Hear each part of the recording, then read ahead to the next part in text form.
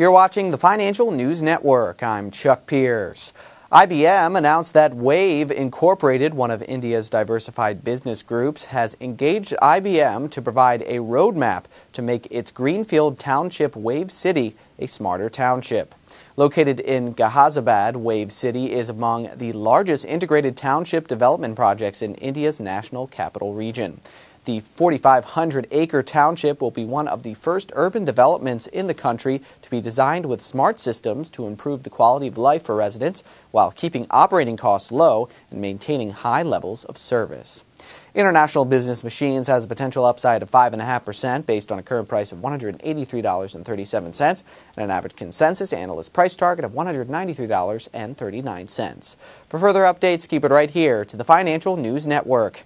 I'm Chuck Pierce.